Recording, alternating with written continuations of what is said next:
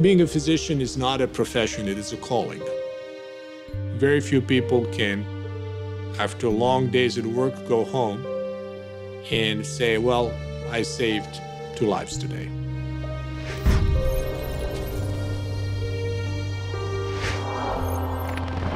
My area of expertise is minimally invasive heart surgery.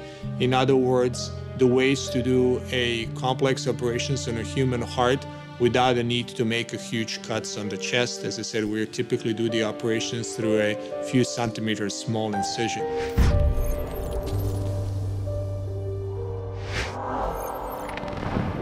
And now, after we build the world's largest robotic uh, practice uh, in Cleveland, we're planning to translate our knowledge and our experiences uh, here in Abu Dhabi. And uh, I believe that we will be able to make a difference by bringing uh, the Cleveland Clinic quality of care to Abu Dhabi.